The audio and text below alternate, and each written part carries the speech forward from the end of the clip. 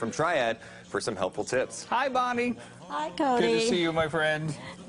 It's Good here, to isn't see it? you too. I yeah. know. I missed the holiday parade in Auburn this week and still mad about it. Anyway, Anyway, I'm doing uh, table decorations for the holidays.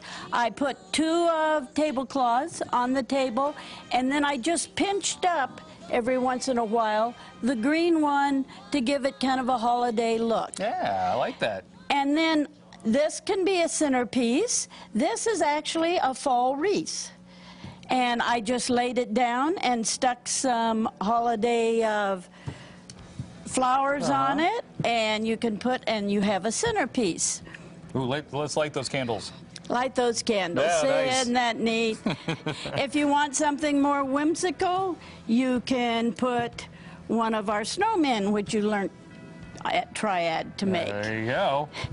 Now, my favorite thing is a table runner. So we have a table runner here.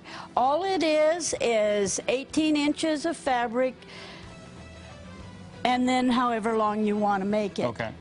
And you can either sew the edge, turn this under and sew it, or use uh, Fabri-Tac or uh, stitch witchery if you're not a sewer Okay, okay. to glue it down.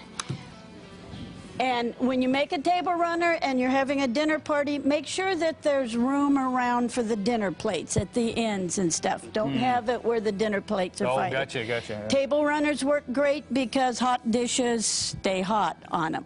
My favorite centerpiece, and it's easy for the center, is. Uh, of course, I have to find the light. Did I light these ahead of time? No. There There. And you just put these on a couple strings. I only have one here.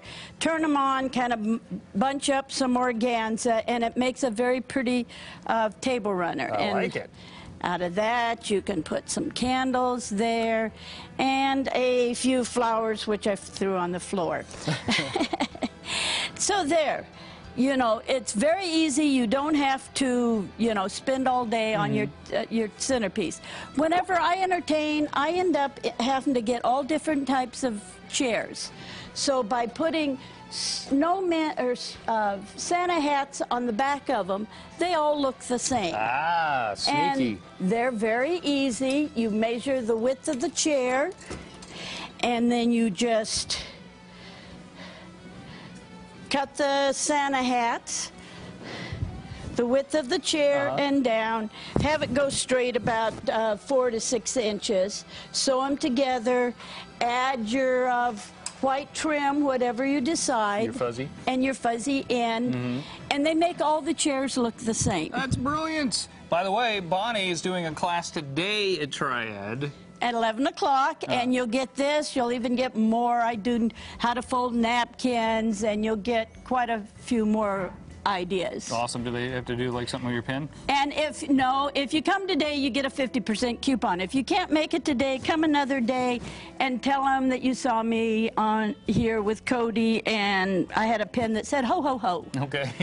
Good to see you. Happy holidays, my friend. Uh, go to our class. They're a blast. I've never heard so much laughing in my whole entire life when, when people are in our class. Back to you, Deuce. Yeah, thank you, Bonnie. Still to come.